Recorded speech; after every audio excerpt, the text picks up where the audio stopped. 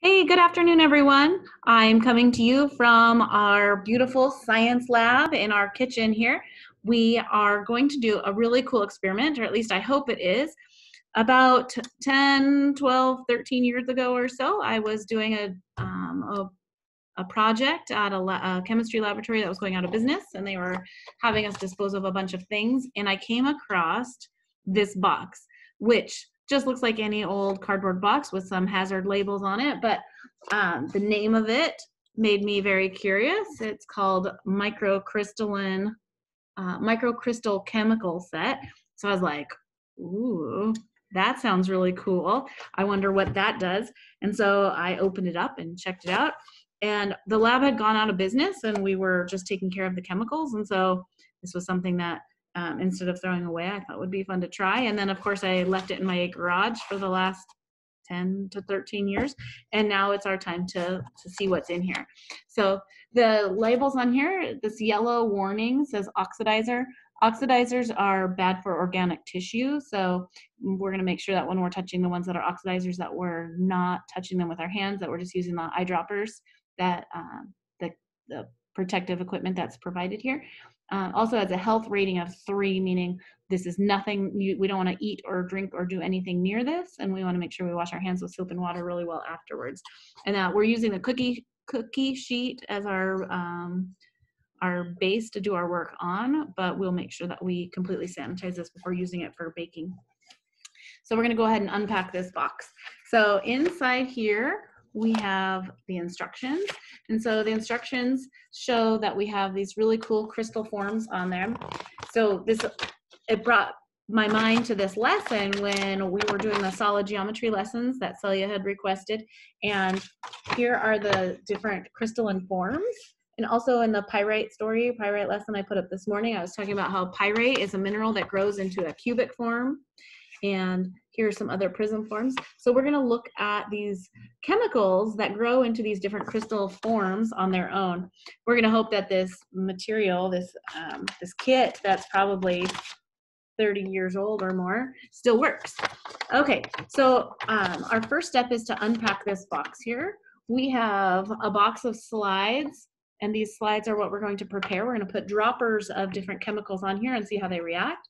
And here are the chemicals we have. We have aluminum ammonium sulfate, and we have sodium acetate, sodium nitrate. This, this one's the oxidizer. You can see that oxidizer symbol on there. This is potassium chromate. Here we have potassium phosphate and sodium chloride. So those are the chemicals that we'll be working with and putting droppers onto slides and letting the water evaporate off and seeing what kind of crystals grow. So I'm gonna get some I'm gonna pull some slides out of here. I have my two helpers right over here, Selena and Abby. I'm gonna scoot out of the way so that they can get in here and do this work right here. And so you'll see their hands and my hands down here working. I'm gonna pull out the very first slide. Here it is right here.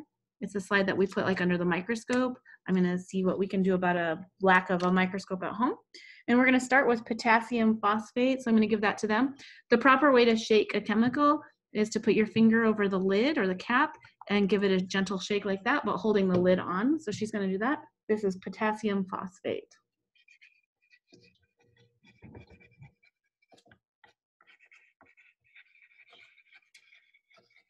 Okay, she's gonna put a dropper of that right here in the center of the slide. I don't know if I pointed out to you guys that we're all wearing our safety gear while we do this lesson and there she's got a dropper down in there. We're, for whatever reason, the camera's not coming into focus, but um, we'll have to take our word for it that she put a dropper down of that. Okay, here's our next slide. Selena's gonna do this one. This one is, um, this one will be our sodium acetate. Will you give that a shake?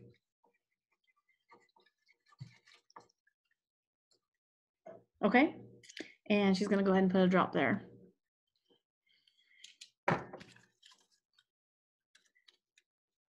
Okay.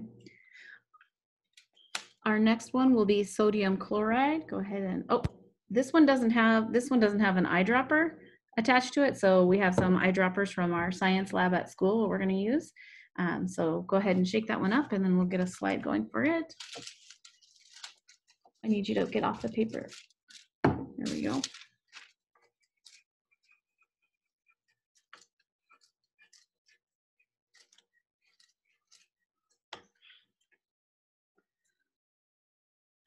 Okay, so she's gonna get a dropper of sodium chloride.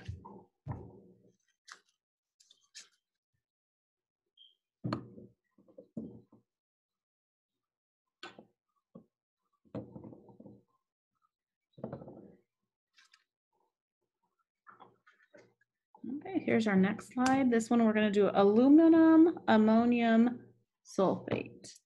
Aluminum.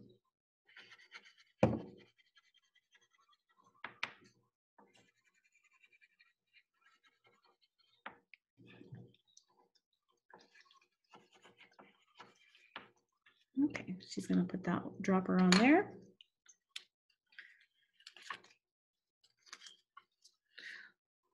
We're getting really close to a chore party, so we're trying to be a little bit quick about this. Here's our next slide. This slide's gonna be potassium chromate. Ew. Really disgusting color. She's commenting on the fact that this one's not a clear liquid. This one is a yellow colored liquid.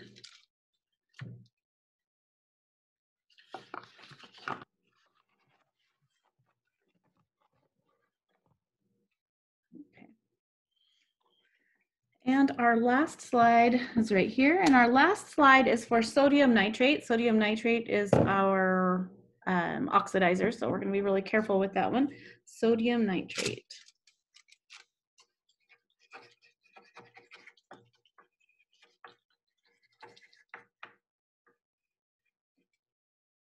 My pencil was skipping across the paper there. Sodium nitrate. Now, what's going to happen is we're going to let this sit and evaporate off. And while that happens, the crystals should be forming within the liquid because right now they're in solution, they're in the liquid. And as the liquid dries and evaporates away, the crystals should be able to be formed. Now, we don't have a microscope here at school or at home because we left it at school, but I did buy this cute little guy that hooks onto my phone. So the, the way it works is here's the camera on my phone. This microscope hooks right over, right over the camera and it takes pictures. So uh, you won't be able to see it through,